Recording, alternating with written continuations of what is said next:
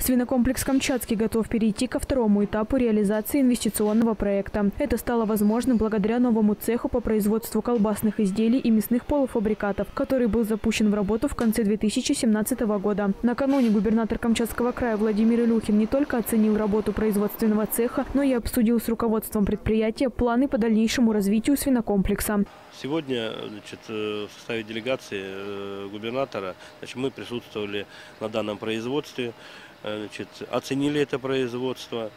Ассортимент продукции широкий, линейка, естественно, как бы была показана нам.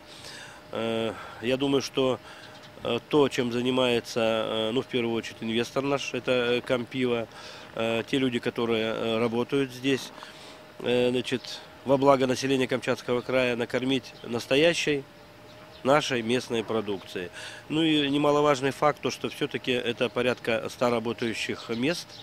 Э, сегодня люди, э, значит, те, которые работают, э, имеют среднюю заработную плату, которая позволяет содержать и семью, ну и думать о завтрашнем дне. Новый цех производит до трех с половиной тонн колбасных изделий в смену, а цех по производству мясных полуфабрикатов до полутора тонн в смену. 28 ноября мы на сегодняшний момент освоили 60 наименований продукции. Ну это колбасы, это условно, это колбасы, копчености, там всякого рада. Ну, покупатели наши, как говорится, уже по продукции э, в магазинах, как говорится, становится все больше и больше. Покупатели уже оценил их, как говорится.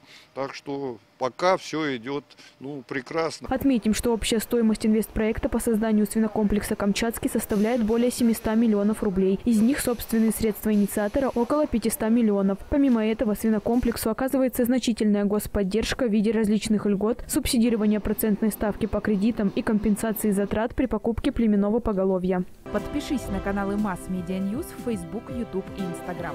Смотри новости первым.